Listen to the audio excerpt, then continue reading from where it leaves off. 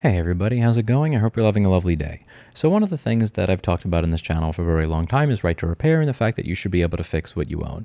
And this part of the conversation has shifted in recent years to the just concept that you should own what you own and that many companies are doing many things to try and make it so that they still own what you bought and paid for. And we've been going over that with things like car subscriptions. I've talked about the fact that BMW is charging a monthly fee for certain things like heated seats. They doubled down on the e-car microtransactions. New Jersey actually introduced legislation to try to ban it, and some surveys have made it very, very clear that consumers are just saying, you know what, I'm I'm done with this. And I'd like to discuss this article that came out from Car and Driver over here that is it's it's old, but man, it just it, it's still kind of, I'll be honest, it still kind of bothers me. It says, We found subscription menus in our BMW test car. Is that bad? We recently discovered a list of subscription based features in a 2023 BMW X1 that we had in for testing, and we had some thoughts on it. And it's talking about ensuring that you are logged in. I don't want my car to ensure that I'm logged in. I just don't. I don't. Uh, some automakers have been toying with the idea of shifting the buying process.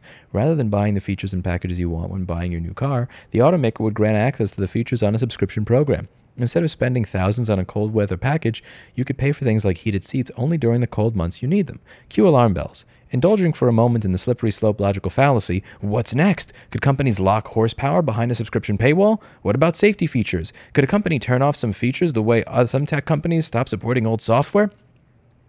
So, what is the slippery slope fallacy? The slippery slope fallacy is something you say when you say, this thing could happen Therefore, since I'm afraid that it could happen or that something similar may have happened in the past, I am going to act as if that is what is happening right now. And using the word fallacy is a way to make you feel like you're irrational for thinking that. And I resent this article for using that language because this is not a fallacy. What if a company locked horsepower behind a subscription paywall? They already did. It's $1,200 a year.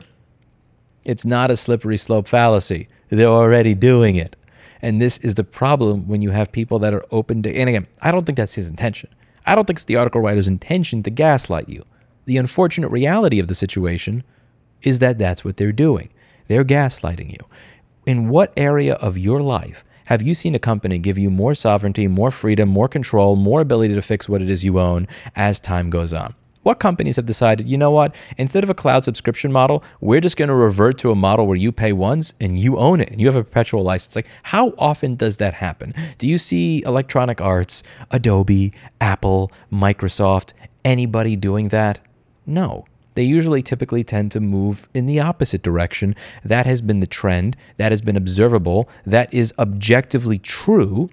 You are not on the slope of a slippery slope fallacy.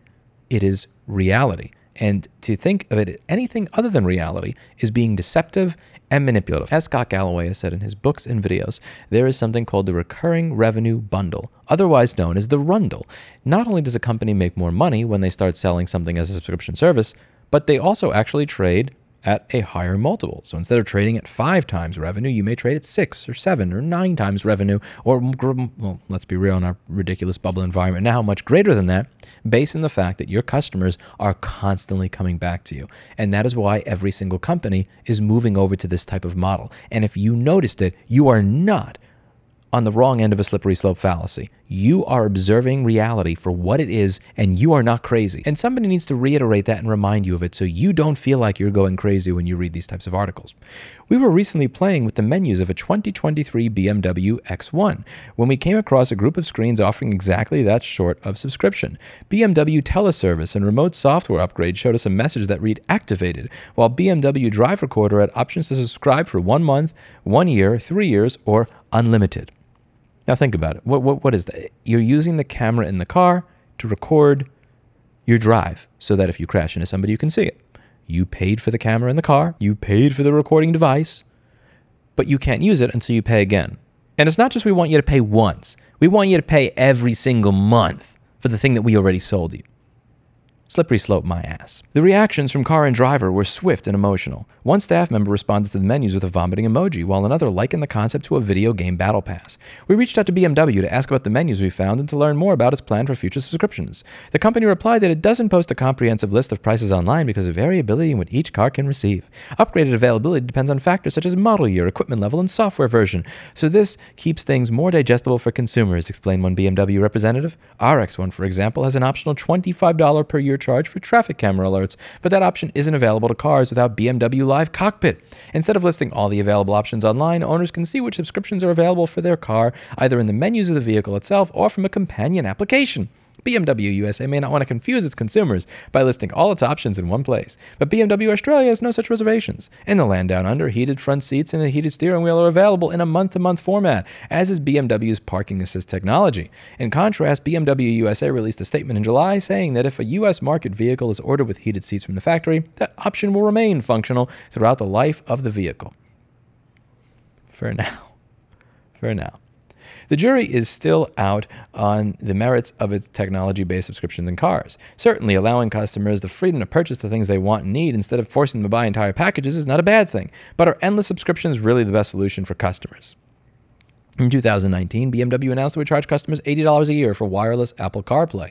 After considerable public backlash, BMW walked back the decision and instead offered the technology for free. BMW is wading into mostly uncharted waters here. The court of public opinion forced BMW to reverse a subscription in the past. If people decide these newer subscriptions are as egregious as the old ones, will they force BMW back again, or will they instead stick to automakers who sell the features outright? And again, this idea that they're looking out for your best interest, you don't need to buy the heated seats if you only need them three months a year.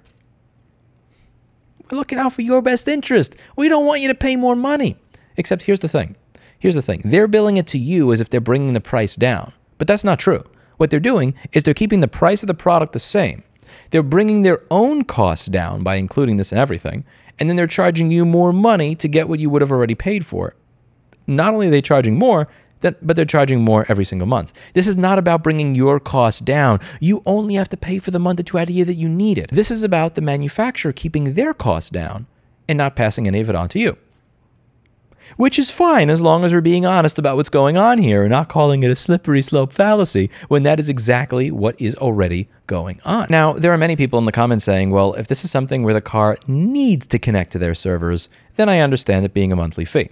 Which, by the way, if you're using the car's internal dash cam, you're not connecting to their service for that. At least I hope to God that you're not connecting to their service for that.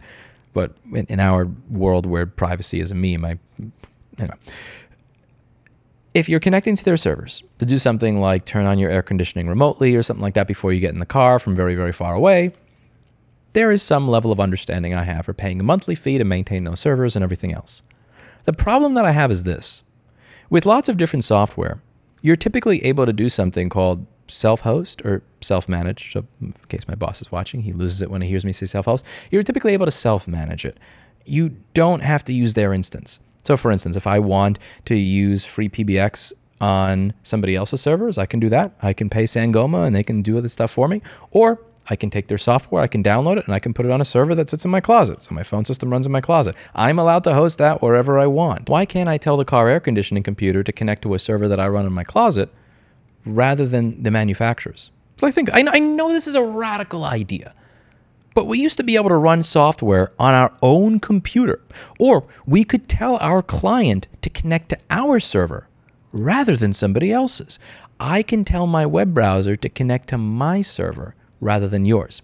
I can tell the phones at my store to connect to my PBX rather than connecting to Sangoma's servers. I know this is a radical idea, but what if? What if the computer in our car, not the driving part, not the part that sets the PID loop and acceleration, but the part that tells us, yes, you're allowed to turn on the air conditioner. You're allowed to use the dash cam. What if? What if we had the freedom to actually self manage our own instance of that software and use it the way that we saw fit. What if the computer in our car were treated the same way as the computers in the rest of our life used to be treated 10, 20 years ago? Radical idea, but what if my car spoke to my server that I hosted myself rather than pay you 10 or $20 a month? So that if I wanted to turn the air conditioner on, I have an application on my phone, I send a notification to my server, My car is connected to my server, not General Motors, not Toyota, not GM, not BMW, and told it to turn the air conditioner on. I know, here I'm being way too radical, right? In all seriousness, that's one of the things I appreciate about the company that I work for now, Futo. We have five principles to the software that is created here. And one of them is that you should be able to self manage or self host your own instance of any software that we create. Anything we create should be open source. If we are offering something that is a service in some way, you should be able to download your own instance of that software so you can run your own server and your client can connect to that server rather than having to connect to ours. The software should not see the user as a product, and the software shouldn't suck. Self managing and self hosting your own instances. This used to be normal. This used to be something that we were able to do. And now that just seems like it's just, that's that's a bridge too far, Louis. And again, I'm not talking about the PID loop here. I'm not talking about being able to set the acceleration on your device. I'm not talking about being able to put a typo into your integral gain. So instead of being 29, you set it to 2900 and the chain whips itself off your bike, cuts your leg, and makes a hole in your wall. Guess how I know that? That's a typo I'm not making again. But in all seriousness, for the basic stuff, turn on the air conditioner. I know, maybe somebody will get hacked. Maybe somebody will get hacked and their air conditioning will be turned on remotely without their permission. Freedom. I know. Could just be the end of the world. Let me know what you think in the comments down below. Am I being insane here, or is a world where the computer in your car is owned by the manufacturer, configurable by the manufacturer, is only allowed to connect to the manufacturer, and everything is a subscription from now until the end of time? Just not a world that you're looking forward to. Let me know what you think in the comments down below. Thank you very much, and as always, I hope you learned something. And if this is something that is of interest to you, you should check out the fellowship program that we have at this organization that I work at now, where we are open to funding people to come here to Austin to create software as long as it follows the principles that I said above. Check out down below, futo.org slash fellows. And I've got a couple of interviews on my channel with the founder that I'll link to down below for anybody who is interested in that and, you know, wants to hear from somebody that's maybe even crazier than me when it comes to actually being able to say you own what you bought and paid for. See you in the next one. Bye now.